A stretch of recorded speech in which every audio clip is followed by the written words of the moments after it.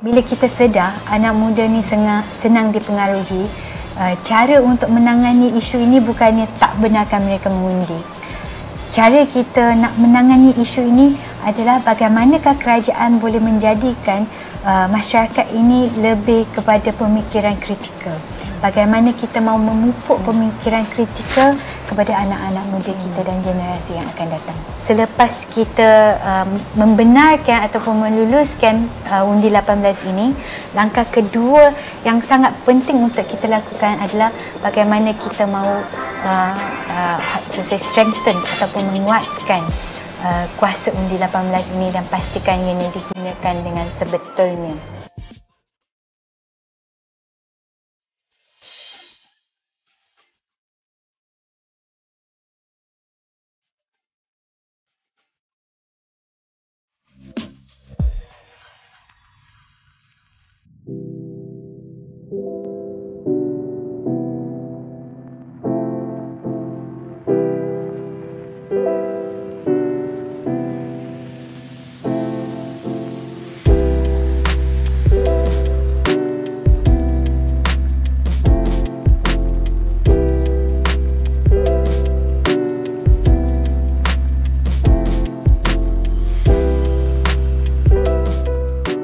YB, kita nak main game apa hari ni YB?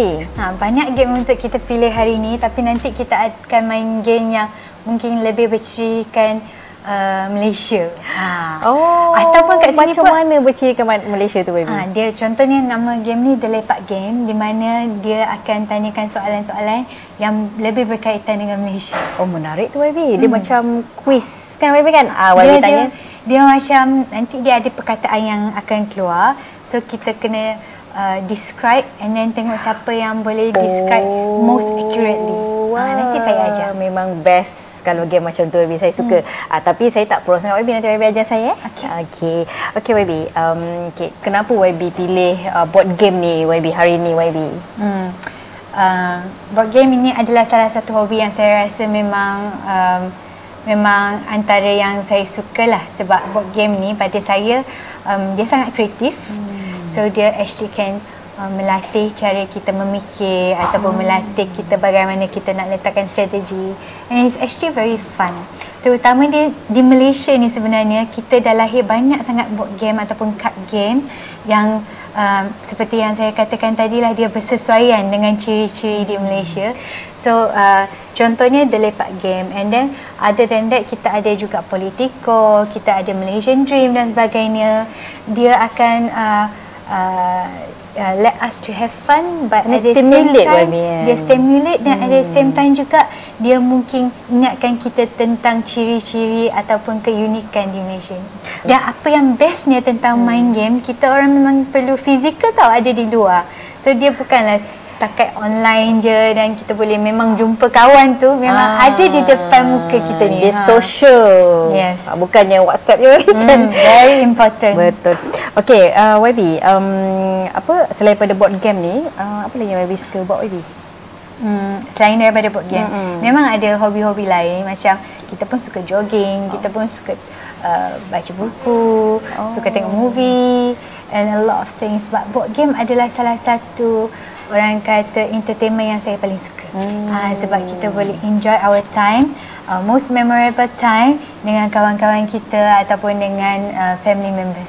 Tu kadang-kadang tu tak ada masa. So dalam bila kita main game macam ni lah uh, baru dapat luangkan masa hmm. dengan kawan-kawan hmm. kan. Boleh sambil berborak, hmm. sambil main game. Hari ini kenapa kita ada di sini? Hmm. Kerana ini merupakan salah satu card, uh, card uh, board game ataupun card game cafe yang ada di Uptown kawasan saya di bawah ah, Dun Bandar Utama. So sambil tu nak promote lah hmm. sebab kita boleh nampak di sini memang berbagai jenis game and then uh, owner of the shop dia akan um, uh, uh, ajar macam mana kita nak main each of the games. So kalau tak pandai main game pun don't worry, don't uh, feel worried about this sebab boleh je bawa kawan datang di sini dan mereka akan ajar. So kadang-kadang contohlah kan macam kalau I memang expert main chess ataupun hmm. monopoli tapi Dewi tak. Hmm. mungkin kita boleh pilih game yang kita dua-dua tak pandai main baru ada kan? Betul. Okay, jadi kita pilih game yang saya tak tahu YB pun tak tahu. Ah, okay. YB ni sebenarnya orangnya bagaimana YB? Sebab orang tengok mengenali YB ni mana yang kenal YB lah. Hmm. seorang yang very um, gentle lembut lah. Perwatakan dia ha, hmm. kan? And then seorang yang peramah. Tengok Facebook YB pun memang macam um, very friendly person. So macam mana YB? Ada tak perwatakan YB yang mungkin orang luar tak tahu lagi, tak kenal siapa YB Jamalia? Susahlah nak komen tentang diri sendiri. uh, kalau saya cakap saya friendly nanti nampak macam mu angkat bakul sendiri. Tapi saya rasa um, bila orang yang lebih mengenali diri saya mungkin sometimes um, saya lebih lebih lasak lah dengan diorang ni ke mungkin Serious boleh ya mm, boleh sometimes quite sarcastic sometimes mm. uh, ya sebab dia rapat kan ya yeah.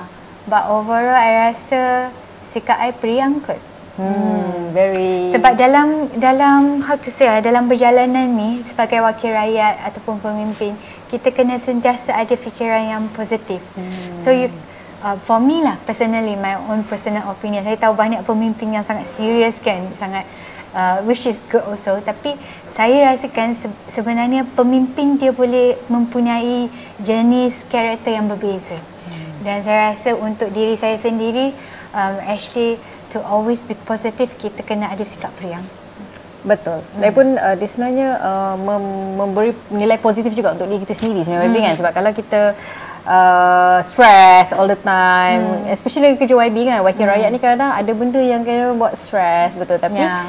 you have to make yourself happy lah yeah. betul tak YB yeah. hmm. kalau memang perlu garang tak apa kita garangkan diri tapi janganlah garang all the time garang-garang pun cantik Uh, okay, um, umur YB sekarang, so YB very young kan? Nah, umur rahsia, okay? okay. Tapi actually boleh find Wikipedia. so, Macam tak Dah ada datang bebas tu. Umur I tahun ni Tiga empat. Muda lagi. Muda, muda. Ha, Sebab YB uh, adalah antara wakil rakyat yang termuda sebenarnya YB hmm, kan? Salah seorang. Hmm, So um, YB uh, nak tanyalah uh, Pernah terfikir ke nak jadi wakil rakyat ni? Memang ada ambition to be uh, politician ke Macam mana tu YB Honestly, beginning no. Uh, saya sebenarnya jadi sukarelawan bila saya uh, help with my party lah. Masa saya umur mungkin 25 macam tu. Oh. Sebab masa tu saya rasa anak muda, tak kira macam mana pun kita kena faham tentang politik. Hmm. So previously memang saya ada aktif dalam bukannya sebagai committee members of NGO tapi saya gerak per, uh, ke berbagai jenis NGO hmm. to find what I actually want to do in my life lah. Mm. So salah seorang rakan saya actually ask me like asyik gerak kat NGO kenapa tak cuba join uh, volunteers in politik uh, parti politik? Sebab then you will get to know the leaders mm. and then you will actually understand them as a real person. Sebab kita selalu nampak mereka kat TV nampak mereka kat social media. Kita tak engage dengan diorang kita tak boleh. Banyak soalan yang kita nak tanya but we cannot ask. So masa tu I join as volunteer. But as I volunteered uh, dulu uh, mantan adun Damansara Utama yang sebelum hmm. kita tukar nama lah. So she asked me if I'm interested actually to uh, to be uh, one of her counsellors lah sebagai salah seorang ahli majlis. Masa tu uh, so that is how I started. Uh, so bila dulu YB in dia bergerak ke Johor sebagai uh, MP Bakri pada tahun 2018 uh, saya mengambil tempat dia di uh, Dun Bandar Utama. So far macam mana YB menjadi wakil rakyat termuda ni YB? Hmm, actually sangat challenging at times but um, I'm very fortunate lah. Sebenarnya agak petua kerana sebelum ni kat kawasan Dun saya memang merupakan wakil rakyat muda sebelum ni YB Yobiin. So uh, uh, penduduk amat menerima uh, in fact mereka memang suka dengan uh, wakil rakyat yang lebih muda kerana uh, ada banyak di kalangan penduduk rasakan kita perlu bagi peluang kepada anak muda untuk memimpin. Dan masa depan uh, untuk Malaysia ini memang terletak pada anak muda. So sekiranya kita tak melatih anak muda sebagai pemimpin uh, bila masanya kita nak serahkan tanggungjawab ataupun peranan yang penting mewakili uh, uh, rakyat di dalam DUN ataupun di parlimen pada masa yang akan datang. So I feel that uh, quite lucky in a sense that penduduk amat menerima but of course masih ada challenging part lah di mana kita memang pada mulanya kalau nak banding dengan mereka yang dah jadi beberapa penggal memang kita kekurangan sedikit daripada segi pengalaman uh, tetapi itu tidak akan menjadi satu kengkangan kerana pada saya saya rasakan sekiranya kita berusaha sekiranya we do our best in everything actually we can catch up quite fast. Hmm, betul. Uh, masa YB tercalon tu apa perasaan YB YB? terkejut. Agak terkejut. The night before saya dapat satu invitation lah. Saya dapat satu jemputan untuk ke majlis pengumuman pencalonan. But dia tak katakan yang saya telah dipilih untuk menjadi calon or whatever no. You just hadir sebagai salah satu uh, jemputan. Hmm. uh, and that is how I know bila diumumkan. Kita tak tahu pun kita kat mana. Banyak spekulasi ketika itu katakan saya di kawasan lain. Apa antara benda yang paling YB suka sepanjang menjadi um, wakil rakyat terutamanya untuk bandar utama ni? Hmm, saya suka bila dapat bawa perubahan. Ha, saya rasa banyak orang bila mereka cerita tentang perubahan, mereka akan rasakan oh, kita kena berubah uh, negara ke satu arah yang berbeza ataupun kita perlu ada reformasi dan sebagainya. Itu semua perubahan besar. Tapi personally saya memang rasa semua jenis perubahan merupakan perubahan. Dan sekiranya setiap daripada kita mampu melakukan sesuatu perubahan tak kira besar ataupun kecil, itu akan menyumbang kepada pembangunan negara dan juga pembangunan untuk generasi yang akan datang. So, apa yang saya dapat rasakan adalah bila uh, saya di uh, bertanggungjawabkan ataupun diberi ruang untuk memegang peranan sebagai wakil rakyat sebenarnya kita membawa uh, banyak jenis perubahan. Tak kira how big or small it is. Sebagai contohnya um, actually from time to time kita dapat tengok bila anak muda datang approach and uh, they say that uh, kita sebagai wakil rakyat muda inspire inspire them to actually have faith in the changes of these nations. Inspire them untuk lakukan sesuatu dan uh, bukan semua di antara mereka uh, katakan mereka mahu jadi wakil rakyat selepas mengenali uh, Jamalai Jamaluddin. Contohnya mereka juga cakap ada yang ingin menjadi aktivis, ada yang ingin melakukan sesuatu perkara kerana mereka percaya tentang kuasa anak muda. Pada saya itu adalah sangat penting. Oleh itu sejak tahun 2018 sampai sekarang antara perkara-perkara yang saya ingin lakukan memang uh, menyumbang terhadap pembangunan anak muda dan juga menyumbang terhadap uh, racial integration di dalam uh, negara ini. Artinya bagaimana kita dapat merapatkan jurang antara satu sama lain uh, uh, dari segi kaum dan bagaimana kita dapat mengurangkan uh, sentimen perkauman di dalam negara ini. Malaysia baru je nak um, melaksanakan uh, undi hmm. 18 ni kan. So what do you think about undi 18 ni Sebab kita tengok uh, last PRU pun kita tengok do you think that they are ready yet to do the voting like in our country? I feel that first thing first bila kita katakan tentang undi 18 apabila kita meluluskan pindaan ini di dalam parlimen artinya kita mempunyai satu kepercayaan di mana kita harus memberikan ataupun menyerahkan kuasa untuk memilih kepada anak muda. So there's nothing to doubt about that. Tapi apa yang saya rasakan uh, improvement ataupun penambahbaikan yang kita patut ataupun harus lakukan adalah apabila kuasa ini diberi kepada anak muda bagaimana kita mahu membimbing anak muda untuk memegang kuasa ini and do the best thing for this country. Pada saya sebagai wakil rakyat bukannya kita cakap dengan anak muda oh you have to choose parti A ataupun parti B because parti A benarkan uh, undi 18 ataupun sebagainya. Apa yang kita patut uh, berikan kesedaran ataupun membimbing dan mengajar adalah apa definasi uh, wakil rakyat yang bagus. Tidak kira dari parti mana, kita perlukan wakil rakyat yang boleh buat kerja. Kita perlukan wakil rakyat yang faham tentang polisi. Kita perlukan pembaharuan.